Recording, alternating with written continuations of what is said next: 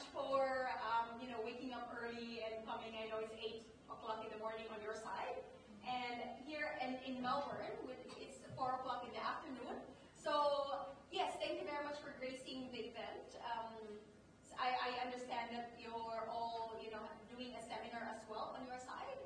And I would like to welcome you all to our class, which is, um, well, the class is, is, called Cities Without Slums. And we have been, um, this is our third day of our class seminar. And we're really thankful for, you know, for having this opportunity to actually have conversation with um, uh, your organization. That's really great for, for giving us this, this opportunity. So maybe we can um, have you introduce um, yourselves to us, and then we maybe give, each one could have probably like five minutes or um, a few minutes to explain, you know, where they came from, their background, and yeah, and tell us about um, more about yourself, and then we can go on from there. Okay, so we'll do a, a lightning round introduction. We have a really big team, so let's just say our names and our organization, and then we'll give a little bit more information about what we do as we go into the presentation. So my name is Sky Dobson, and I work with the SDI Secretariat here in Cape Town. Hi, my name is Charlton Ziervogel, and I work for the Sportsmanship Community Organization Resource Center which has a national program in South Africa supporting the Federation and the IS. Hi, my name is Ndodeni Tengo. I'm the social uh, movement working with ISN in KZN. Good morning and welcome everybody. My name is Melanie Johnson and I come from a community called Belinda and I represent the Informal Settlement Network, shortly ISN. Afternoon, my name is Tozama Nonga. I'm coming from the Organization Federation of the Upper and Poor. I'm the coordinator of the Western Cape FEDUP. Good morning, my name is Choloka Kwele. I stay in a former settlement called Taiwan in Khayelitsha here in South Africa, Western Cape. I'm, social, I'm coming from the social movement for the Federation of the Economic Rural Group. Morning, my name is Anna Estevao. I'm from Durban. I'm a coordinator of Federation of Urban and Rural Poor in KZN. I represent the CBO. Thank you. Back row, do you want to quickly say hi? hi, uh, Sarah Watson from eThekwini Municipality. You want to find out on the map? We do. hi, I'm Elizabeth Deep down, uh, Elizabeth, deep down. Hi,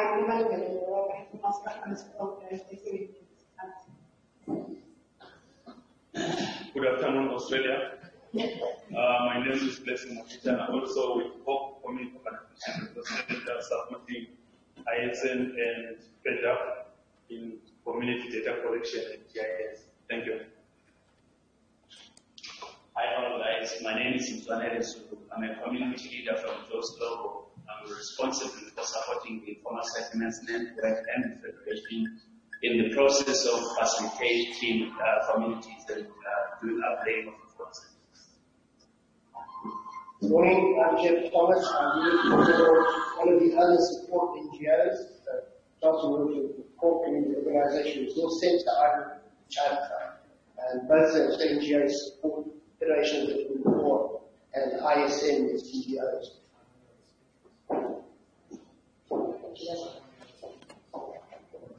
Um, we've got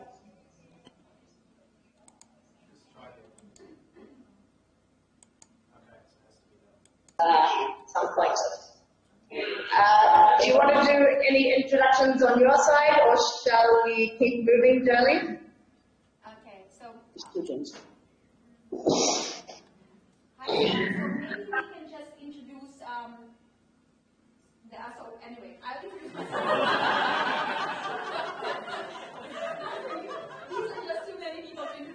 So yeah. So I'm Gerly. I'm coordinating the subject along with uh, Colleen. Colleen is on that side, and the lady in the orange um, sweater. Yes, so we are coordinating the subject, and Paul can we see you? No, I'm not. okay, so yeah, so Paul is one of the tutors, and Reden somewhere, yeah, so Reden is also one of the tutors as well as Eric. And yeah, so, and the rest are students of um, Cities Without Slums. So we're doing this intensive for this whole week. And yeah, so today we're talking about community, um, community-led slum upgrading. Yeah, so take it away, Sky. Okay, so uh, community-led upgrading, I think we have quite a lot to say about that. Um, we have an amazing group of people here to give some insights to you. I know we have only a little time, so what we're going to do, I'm going to ask a few questions to the team so that you can get a sense of, of what we do through their answers. Uh, I think you've been reading up, I think you watched a video even today of uh, Sheela Patel, right, the board chairperson of SDI. Nod, your, nod if you watched that, yes, okay. and then I think you've also read some materials, so you don't need background on SDI. So we'll just go into some question and answer with the team that are here. So the first question I have is women-led savings groups are often called the building blocks of SDI. Why is this the case, Madam Tozama? Maybe you can say what saving group you're part of also. I'm part of a saving group called Sisigalelebawo in Makhaza. Uh, when we are talking about saving groups or women-led saving groups, we are talking about organized women and, uh, and they also alleviate poverty within their community.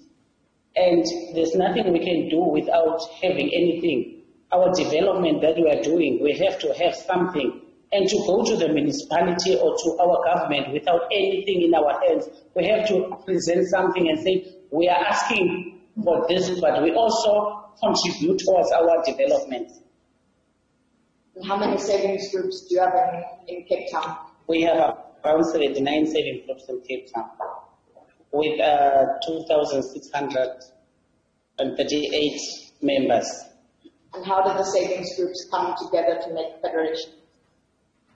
We started saving groups in, in, in, in, in, different, uh, in different communities, whereby we go into a community and talk to women about savings.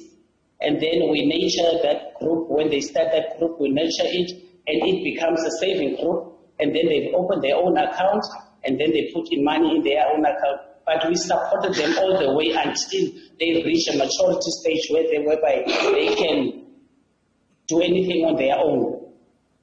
Thanks, Tozama. Then after these communities get organized into federations or informal settlement networks, then they start doing something called profiling, enumeration, and mapping. Um, Blessing, can you talk uh, to us a little bit about how this works and why it's important for communities to gather information on their settlements? Okay, start. Um, let me just come a little bit closer to the microphone. Um, do you hear me guys over there? Mm-hmm. Okay, okay, thank you. Um, as I said in the introduction, um, I support communities in information gathering, uh, which we call uh, community enumerations and settlement profiling. So the main important aspect in this activity is that um, it is more like the cornerstone of uh, SDI. That is what I can say in terms of organizing communities. Um, was with the data collection that is done by community members it's um, more of a, a, little bit sophisticated exercise, but when it comes to the community members, we capacitate them in such a way that they understand the whole process and they run it themselves. So the main important thing is that um, with this data collection, it provides more of um, accurate information about these informal settlements because the information is collected by them as residents of that settlement. So they tried by all means to collect all the necessary information without any problem. Um, so in the process of uh, data collection, it helps the community to understand themselves in terms of service delivery and also the ratios of services in their settlement and the populations. So at the end of the day, the community tends to understand uh, its own demographic status, that is the population, um, uh, population age groups and all that. So with that uh, data collection exercise, it is also coupled with uh, GIS mapping, where we map each and every structure, and then we link the information on enumeration, that is on the household survey, then we link to the structures that we have through the GIS system. So at the end of the day, we don't just get uh, statistics of the settlements, but all this process also helps in the mobilization of communities. Because as soon as you get into their households collecting information, they would like to follow up and understand what exactly is going to come out of their information. So in that way, the community feels more mobilized. Then it, it suddenly becomes the base of any form of development or upgrading that is going to be done in the community. Because all the numbers of all the statistics that we get, they become, like as I said, the base in terms of knowing how many structures are there, how many families are there. So at the end of it, we don't just call it an enumeration, what called settlement enumeration, but also a people collecting process. This exercise of enumeration helps to bring people together and understand the whole processes as they unfold. And also it helps them to come up um, or in, in, a process or in an approach that we use, which is called a participatory approach. So involving them, uh, community members in the data collection, it helps them to, to, to participate and understand the whole process from the beginning up to the end.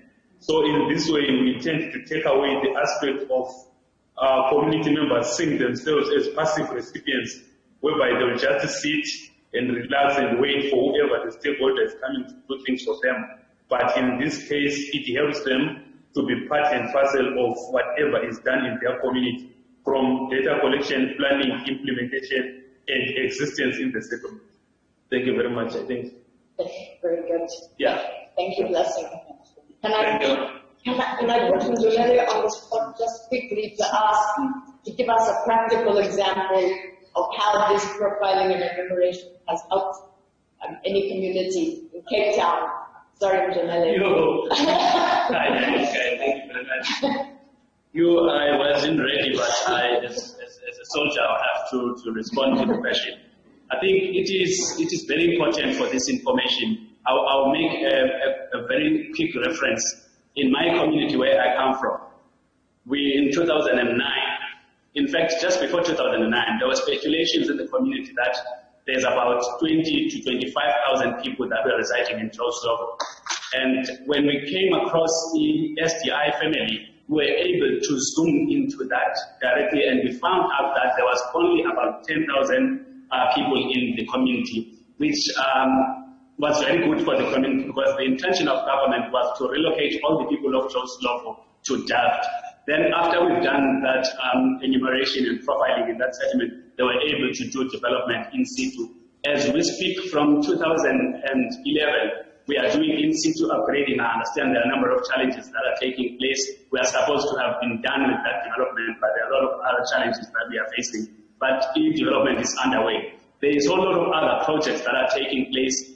Um, what I wanted to add on what Blessing was saying, say was that after all these processes taken place in terms of um, um, equipping and capacitating these communities in terms of collecting and working them together, you take that to another level where we're engaging with the cities, engaging in such that we are able to, to, to bring some development to, to communities and communities, as you are saying, at the center of their own development. It is very much helpful for communities.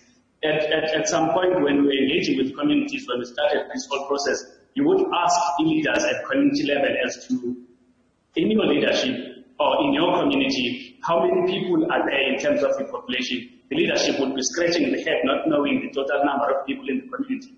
You ask about the services. How many water taps do you have? How many toilets do we have in your community? Community leadership would be scratching head, not knowing what exactly is available in their community. This is how dynamic this process was helpful to our communities, including our community leaders. Thank you very much. So, Melanie, many of the federations and informal settlements were formed, informal settlement networks were formed because of the issue of addictions, like Mr. was saying. Why is it so important for communities to come together and to work toward incremental and in situ upgrading? Firstly, when informal settlements come together, it's basically to build solidarity around the issues such as floods, fires, evictions, and all, all the issues that are basically faced within the informal settlement. So when they come together, it's not just looking at what the issues are, but also saying, you know, we are tired of waiting for government for this adequate house. How can we change the living conditions while we actually wait? Because we are facing all of these challenges. And when they look at what the settlement looks like, we are saying, how do we actually support you in developing your, developing your community plan, which changes your living conditions for now, such as looking at fires, floods, looking at structures, looking at access roads and all of those things. So I think when communities basically come together, it's about identifying what their needs are and understanding that their needs won't be assisted now because government has a big long list and they won't give you settlements now maybe in the next 10 to 20 years. But how can they change the living conditions where they are? And change it in, in, in a way where it's livable, where it's dignified, where you can actually build, uh, build people to build a community. And in that sense, it's not only communities because communities can't also do it on their own, but also how do they bring in government, how do they bring different stakeholders so that, so that they can actually have better services because the issues around informal settlements are, are a lot about basic services. It's a lot about land tenure. It's about how do we do things for ourselves by saying we are helpless and we are poor, but we can do things for ourselves. Intonella has another Yeah, addition. this, this is the last one, just to share with the team that we, we've got, we've got a responsibility of sensitizing these communities. We're using our slogans. So we share these slogans with you, the team there. Imagine, hey, I know my Kukhohlela abantu ukuthi- Yeah, so yes. Wonke izinto ezimnandi. So these are our slogans that we are applying to bring people together. When we say amandla, we say power, and people are responding and saying it's, um, it's money and knowledge. Then again, we say, ukhohlela abantu when we say ukhohlela ukuthi, we say the coffee of this brother, and in response we say, this is bringing suspicion. So we all just bring people together so that they learn in the process and they are able to engage on these issues. Also, we say, here there is this idiotic man that is um, eating sweets without peeling them. So this is the process that we're saying to people, you must make sure that you are protected when you are using these things in the. Thank you. I think that was great. You get a bit of a flavor for what this, this organization is all about. Huh? So I, I think the, the issue of in-situ upgrading in, in South Africa, perhaps more than any of the other countries that we, that we work in, is so critical because there's been a, a history of people being moved out to the urban periphery for these uh, housing projects and whatnot. So the, the SA Alliance has been working very hard to look at different solutions for upgrading in situ. So let's move on to, and speaking of this, we've been the last few days here, we've been with the, the Federation and Informal Settlement Network from Durban and Cape Town, and also the Federation from Accra, and they've been here with their uh, city government officials. Sometimes it's viewed that slum dwellers, shack dwellers, they're at war with their local government. But uh, I want to ask Mamkabela, why does SDI and why do you think it's important for your federation to partner with government? Okay.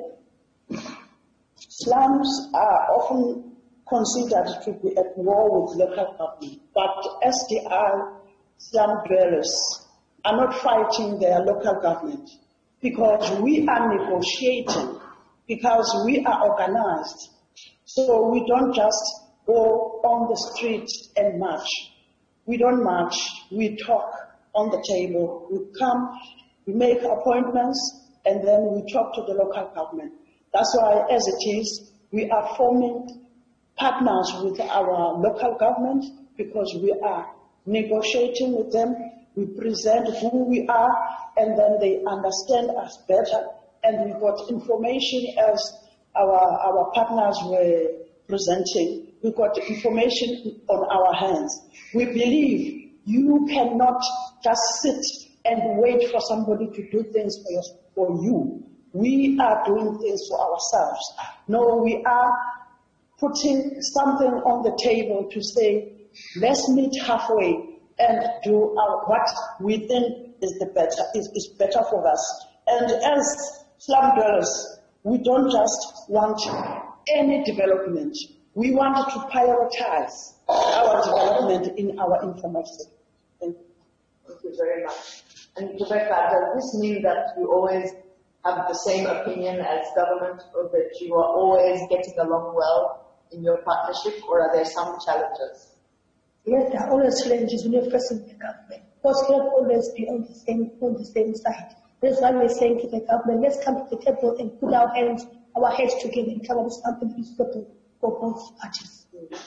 And you've got to know your city t-shirt on. What does know your city mean? Basically, basically it's about data collection. When we saw I say to the, government, we come to, we know our settlement very well, so we come to you and say, government, here is our settlement, it, it is need of taps because we know we've got um, in, we are in need of taps in a certain settlement, in need of certain tools. So don't say to government, government, come here, we need basic services. We actually know how many taps do we need, how many taps do we need.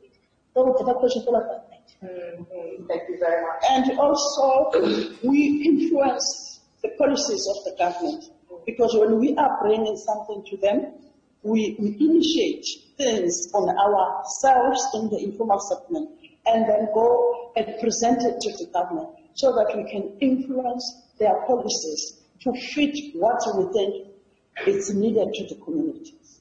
Thank you, thank you. And it just so happens that we have government officials sitting with us right now. So we're going to ask uh, Sarah Watson just to say a, a few words. She's from Durban, as she explained, with the Human Settlements Department. And we wanted to ask her about the, the partnership and sort of what kind of innovations in the regulatory framework would be useful to supporting slum upgrading at scale. Sure. Um, we have had a range of um, regulations from national law down to bylaws which affect this uh, informal settlement upgrading. Uh, some of it works for the benefit of informal settlement dwellers and some works against. For example, in South Africa, evictions are not as widespread, I think, as they are in other parts of Africa because the, the Prevention of Illegal Eviction Act um, which requires government to provide alternative accommodation to people who are unable to provide, to, uh, provide their own accommodation in terms of eviction.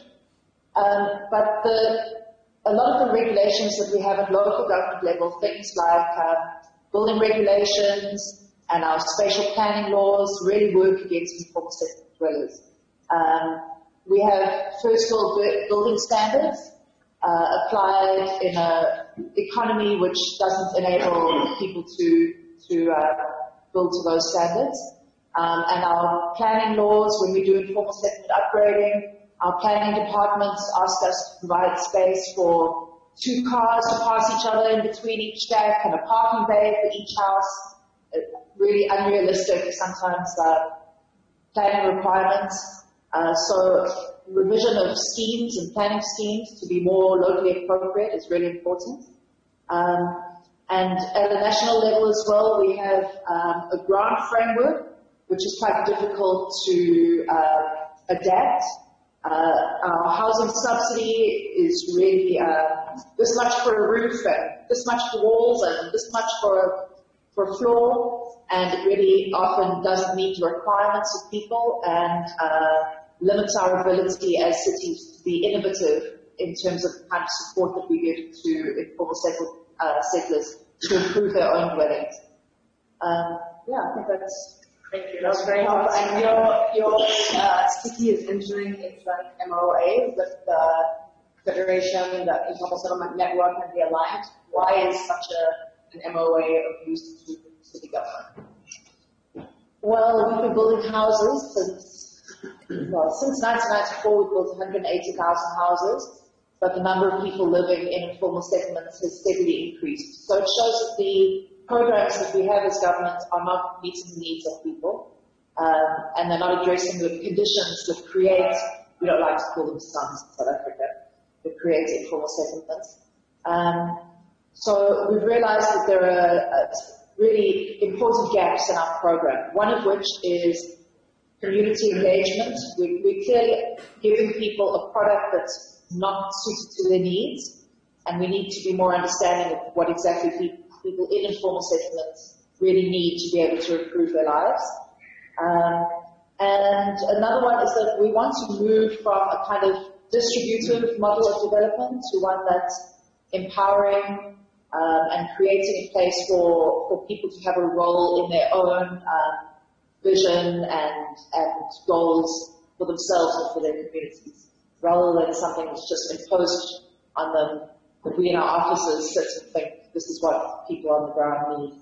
So partly because of the poor relationships with the community in the past, part, partly because of capacity issues, the city is not necessarily able to do that community engagement uh, without working through intermediary organizations. They really uh, are able to bring us closer to communities because they have those links, that trust and that relation, those relationships already developed. So we really are looking forward to this partnership, um, which will be coming into action anytime soon.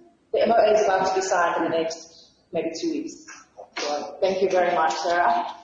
Um, now moving over to Charlton, we've been here uh, in this exact room for the last couple of days, and we've been really looking at the sort of community-driven data uh, collection work the way that partnerships with uh, the city can work to support the development of resilient, um, resilient cities. A bit of a catchy phrase uh, of late, but we wanted to just get a sense from Charlton what he understands a resilient city uh, to be, and then what he thinks uh, the federations and informal settlement networks have to offer in this space.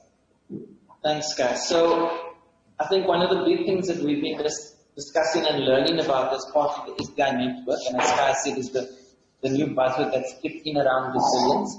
Um, so we've been unpacking this, and a lot of it speaks about um, how a city can um, um, recover from or how it, how it reacts to shocks and stresses. And um, I think all of you are, are quite aware that in terms of urbanization and in terms of the developing countries of the world, that um, the, the battlefield in terms of where rapid urbanization is happening currently and will be for the next, I'm sure, more than a decade, is happening in informal settlements and slums across the world. And um, a city's ability to um, to absorb and be able to recover from stresses and shocks is going to rely a lot on the ability of how they tackle issues that, that occur inside of informal settlements and slums. Because what we find is that when these, especially when shocks come along, we find that a lot of them have a high impact inside of informal settlements and slums. And yet we would say that in the SDI network, our communities, our organized federations and informal settlement networks already have quite resilient nature to them. They, all, they deal on a daily basis with things like flooding and fires and lack of adequate services. And sometimes this unearths and uncovers quite innovative ways and solutions. Through the SDI process, there's a real possibility to link those innovative solutions to um, cities' resilience strategies and help them to actually rethink how they develop these strategies and also incorporate some of the, um, the adaptations that some have played. I think also, as Sky mentioned, um, with regards to the data that we collect, so a lot of cities do not have sufficient data on the informal settlements and slums that are located inside of their boundaries. Yet these often house sometimes the majority of the of the um, of the inhabitants for that particular city. So not having that critical information when you're trying to plan for or develop any strategy is actually quite a weakness. And that's one of the big things that we bring to this table is we also bring this data. But I think in the last three days of discussion, we've also highlighted the fact that our data comes with a very unique um, attribute and that it involves quite a bit of community organizing, which has a lasting impact before, during, and after the state exercise. And, and with that complete understanding and the tools that we have at our disposal, we actually offer cities who are looking to develop resilience strategies a much more holistic approach to what they develop. Because you could easily go down this path and focus on quite formal areas and not actually tackle the issues that, that speak to the majority of resilience. Brilliant. Thank you, Charlton. And lastly, we're going to hear from Indradeni, and we're going to hear about um, peer-to-peer exchange, which was one of the most fundamental learning tools within the SDI network, whether it be peer-to-peer exchange between settlements in one city, between cities in one country, or between different countries within the SDI network. So, Ndudeni, could you speak a little bit about the importance of peer-to-peer learning for urban poor communities?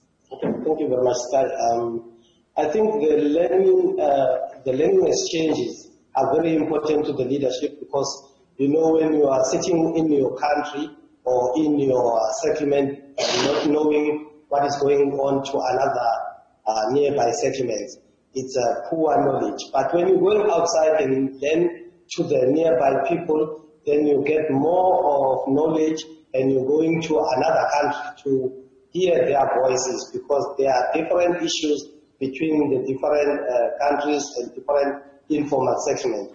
And you know when you're going to, we went to uh, in Nairobi and we learned the issue of how they can face the issue of flooding. So when they, we learned about the issue of flooding, we took it back to our country, to our South African, when they, uh, there is an issue of railway people that are uh, situated in railway. So how we can do the reblocking or upgrade those people. And the people from uh, Nigeria, they have an experience of eviction. So we learn how they can face the issue of eviction because many uh, people that are living in slums, they are facing uh, by eviction and uh, many issues from uh, the, the, those uh, centers. So doing the local, national and internal exchange is giving the leadership the knowledge and the power to do things for themselves where they are staying people. Excellent. Thank you very much. So that was sort of the, uh, the lightning round question and answer that we thought might help you get a bit of a flavor for the work that SDI is doing. And um, we're now open to questions from, from your team.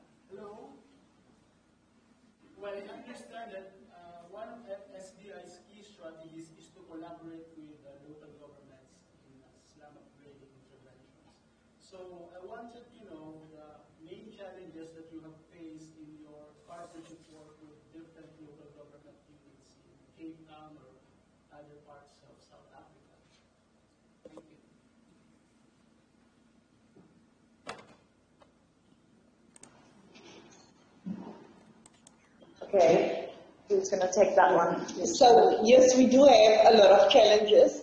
Firstly, we have the seen is believing scenario where governments don't really um, see the value of a community-led process. Within partnerships where government takes a bit longer to understand what communities are basically doing for themselves. And even when they start seeing it, seeing that this process basically works, like one of our challenges is policies policies perhaps us on basically going to, to stay from doing things for ourselves because there's always a red tape within, within government. And we also have a lot of challenges with government changes all the time, where the people changes, not always the same people that we basically deal with. So it's explaining our story over and over again with different people. Like you, you build a process and you build trust now with this um, sort of officials, and then later when it changes, then you have to rebuild all over, and that dampens and slows down a community-led process. Also, the, you know, uh, the politicians also plays a very big role within our government itself, where basically um, they will do things that suits them and not really suit the community the community's needs because it's all about getting votes for themselves and forgetting about what the need, the real need of the community. So I think those are some of the challenges that we can add what other challenges are there? I think Mzunele had a hand up and then Blessing. Thanks, I think without wasting time, I think um, we might have made a mistake of sharing um, the good story only. Of, of course, there are, there are other challenges, a number of challenges that we are facing in the process.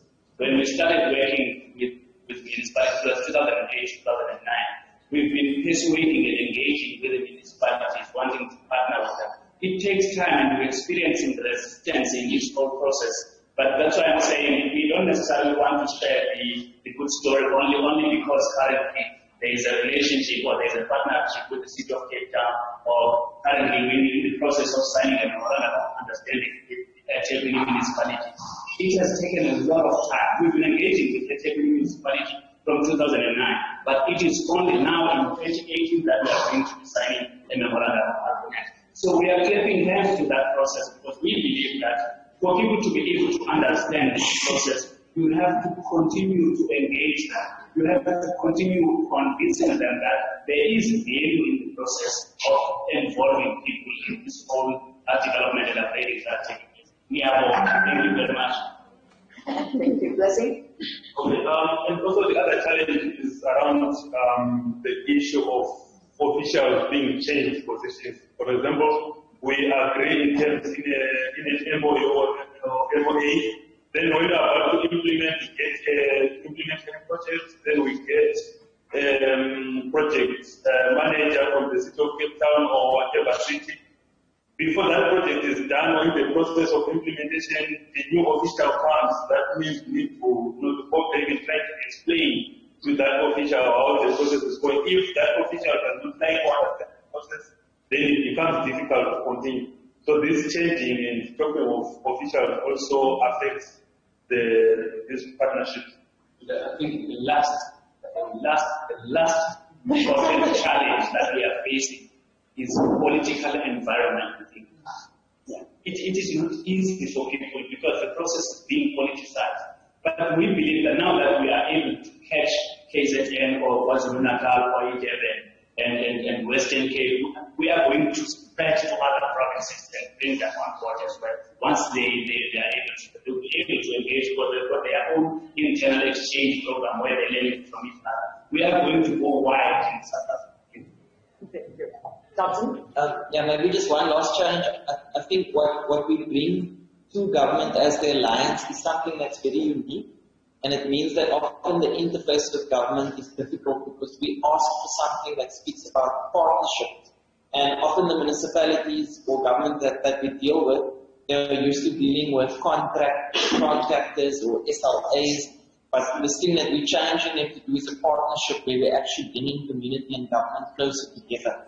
So that's a little bit difficult to achieve. And I think within the SDI network, parts of the tools, some of the tools that we use is we even take officials and politicians from one country to another so that we can expose them to the methodology and, and so that they can see how partnerships are, are built versus just having contractual relationships.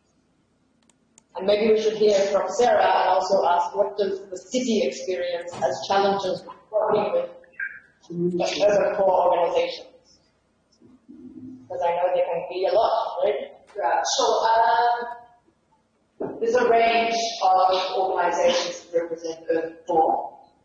And some of them are representing the Urban poor and some of them present themselves as representing Urban poor but have their own particularly political interests.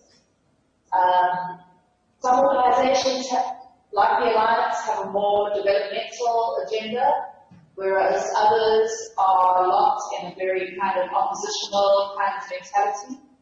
And uh, I'm not saying that they don't have many things to object to. They do have many valid things to object to, like governance programs. But some organizations are more interested in building relationships and working together. Um, others burn tires the streets um, as their way of engagement, and that's really great up to a point. It really it highlights the, the, the critical problems in an area, but doesn't necessarily uh, work towards solutions. So, and also, I mean, as officials, we also are um, we have to take our direction from the elected officials, and the elected officials have five-year cycle, which doesn't necessarily create kind of long-term vision and planning Uh, that we as officials are working towards. So short-term goals, long-term goals create some conflicts of interest sometimes, even within the city. So Thank you very much. Are there, other questions? Yes, thank you very much for, for the comprehensive answers from, from your group. And there are three more questions on our side. I recognize that you have about, oh, so muted, sorry. Is it muted? Uh, no, no, it's, it's fine. You can hear me, Sky, right? Yeah. Okay, so we have three more questions. So maybe one or two could answer these. So first is for the females on your team. Uh, do you face any challenges trying to do community engagement which may, may be different from male um, team members? And the second question is, um, are there communities who are more accepting than other communities in terms of, you know, changing or improving the built environment? And I think there's another question, uh, question still being written. So maybe we can have, um, you know, one or two answers to those questions, that would be great. Thanks.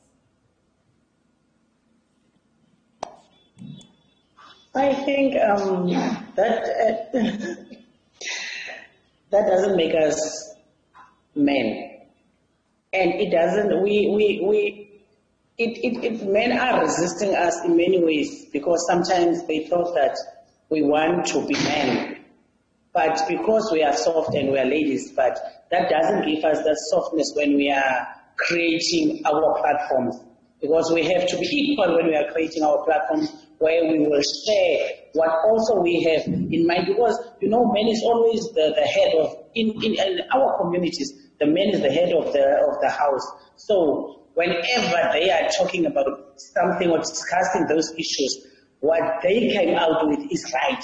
So but we had a way of knowing and discussing with them and showing them that no, if we can tackle this in, in, in, in, in this angle, like the savings, men are not keen on savings. Men are, are very judgmental as people, and they always thought about, I, they will, our money will be charged by this woman. So we have a way of, of like mobilizing them into the savings. Because the men that we are sitting here with are all savers. So today they've changed their mindset. Now they are all well organized women. But I think also, um, I think for us women, we also have to become more strategic when you go into a settlement where you do get some resistance because of different cultures. And because we have to become strategic, we have to start thinking out of the box. So for us, we have more, we have a very difficult task around mobilizing and doing things as women. But, you know, it's not that we just, we disempower or we, we exclude men. But women have sometimes more power and leverage because women are peacemakers. Women are better savers. Women are, are generally very calm in a sense to, you know, when emotions get high in a community. We can just soften and sensitize and, you know, we can bring a different flavor. Um, even when we go to government, it's the same thing. Women are out to cry. Men don't cry easily. So when you go to government, you cry. So there's certain things that women is very unique in doing and getting things out of the community. Um, other than we say there's certain things men can do, but there's a lot of things that women have to actually do much more. Thank you. And also because like KZN, part of KZN is rural areas. So when we go there, you know, there are chiefs and indunas, and we have to know the culture. When we go there, we sit down, we meal, we do everything that indunas can accept, and also chiefs that can accept. Before you can enter their communities, you need to have an appointment with them and discuss with them, kneeling down, looking down, keeping the culture of that area until you win those people. And then you can open a group in the rural areas. As it is, we are going to have a project, big project with eThekwini and the department and also SDI, a big project in a rural area. Because we as women, as my partner is saying, we, we, we, we look, we cry, we do everything so that it can fit what we want from the men. then we can win those chips and all those to be nice. Thank you, thank you. And I think maybe Ndudeni you can tell us about if there are sometimes communities that are a bit more resistant to Yeah. change than others. Can you give an example? I imagine it's not easy to enter communities. I think yesterday you were telling us some stories from Durban when you tried to mobilize various communities. Yes, there are communities like that, uh, like um, there are strong gatekeepers in uh, leaders in our communities. Then when you go in there, maybe a councillor is other party and peer councillor is other party. So it's very hard to go there and do the mobilization to the community. So when you do go do the profiling, maybe when to do the mobilization, when you go back to do the profiling, they said, no, we don't allow you, then you must go back and do another mobilization to uh, leaders.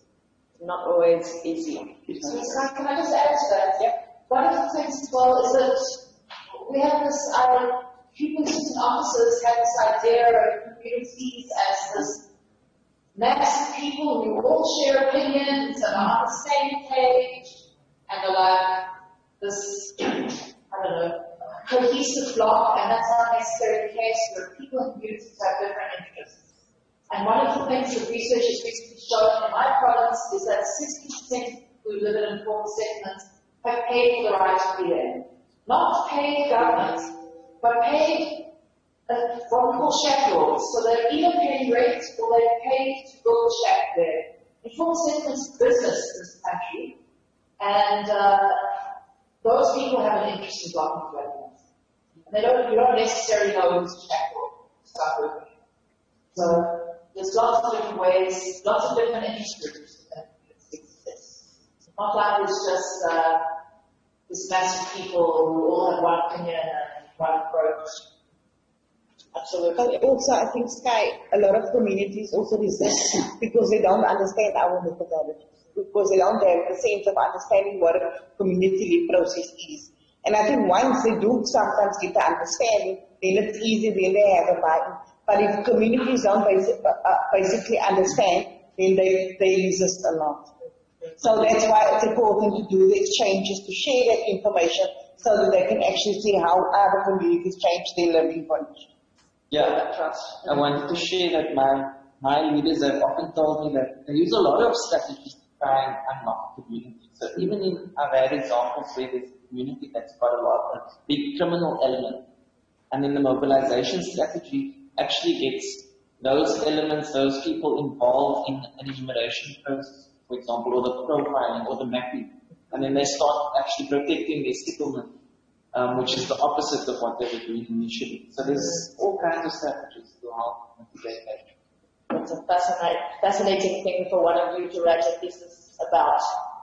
Um, I think Jolie has a few other questions uh, in her hand. I know we have really just run out of time, but what should we do? Jolie? Yeah, um, do you think you have, um, you can have, uh, one more question or, um, you don't have time anymore? Question is fine. What, uh, one more question is fine. Okay, yeah, so there's, so there is one more question here. So thank you for an interesting discussion. Please, could you explain how, once a community has completed mapping, identifying priority problems, etc., from how, please, um, sorry, then move to actions to address those problems, especially on financing, do flood control measures, peer-to-peer travel to other cities and countries um, found, founded by members, sorry, savings or other sources, and what what are uh, the challenges associated with this? So it's you know translating the, the those problem identification into actual implementation or action. So what kind of challenges have you encountered? and, you know, through those different programs like peer-to-peer um, travel to other cities and countries um, by members and savings. Uh, the financing of. Ah, yeah, okay, so uh, where does the funds come from in terms of implementing those problems after you've identified and prioritized through mapping? A couple of concrete examples from the SA Alliance about when you use the information and then you move from the negotiation stage to the implementation of a particular project. Who would like to share an example? So firstly, uh, one thing that we've learned from one of our international exchanges from Thailand, which they have a model called CODI, we've developed a city fund. So because we've developed a city fund where communities can access funds um, much more quicker, much more easier, so that they can basically do their development. But communities have a, a responsibility of also making a contribution, which is basically 20% or 10% of the total cost for the project in order to contribute for them to take the ownership thereof. Then we also, we don't do projects where our municipality or our government don't contribute. They contribute to, to by putting infrastructure. For example, one of our informal settlements that we upgraded, the community managed to save 90,000 rand and the city pumped over two, uh, over 2 million rand by infrastructure.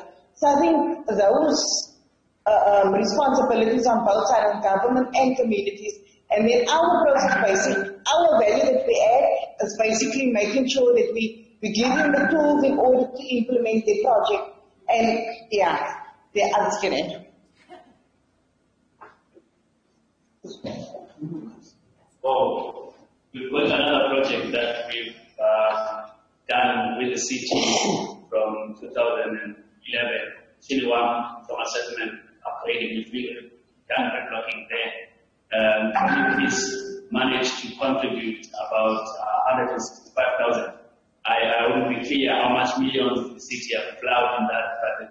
of millions that the city plowed that um, upgrading in terms of putting infrastructure, connecting, plumbing, and all those things, including electrification of the settlement.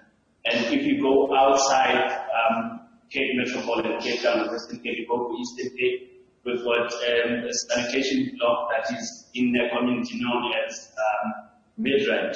The community has made its own contribution there, and the city has made uh, their own contribution. There are a lot of other projects that are happening. We've got a smaller project which is very close to the dam. It's less than five kilometers from dam. It is known as Kukutam. That community has done grid locking elsewhere. There are a couple of other projects that are there that work city will made, communities made contribution, and the city has made um, a very um, drastic um, contribution into those projects.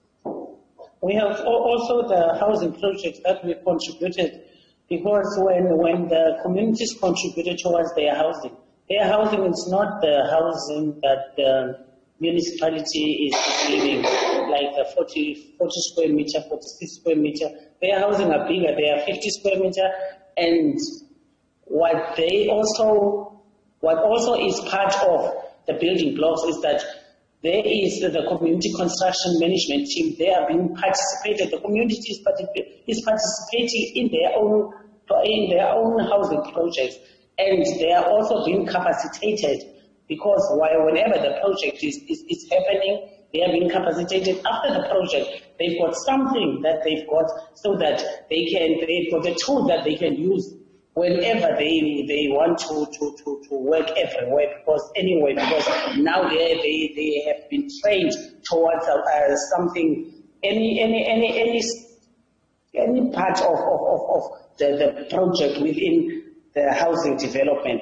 So what they do when when you when you contribute towards your house, you don't sell your house because people that didn't contribute that got free houses from the government are the ones who are selling their houses today. But in, in federation, you've got a lot of people that is for their houses and they've got participated and, and contributed toward their houses and their houses are still their own houses. So there's a lot of, of, of, of, of differences when you saw people that participate in their own process and pe- people that doesn't participate in their process. Thank you very much. And I, I think, uh, Jolie, if there are other questions, you could also email them to me. And uh, during the course of the day, I can get answers from these guys and email them back. Yes, um, yes, thank you very much, Sky. So yes, so if you have questions, you can send them all to me, and I'll, um, you you know, put them together and then send it back to them with the hopes of, you know, we get the answers for those questions. And on that, we would like to thank you, uh, thank your team, Sky. Um, thank you very much for this very lively discussion. We wish it would have been, you know, longer, but obviously you have other activities happening for the day. But we're really privileged to have them and have this conversation with them. So thank you very much. Uh, let's give them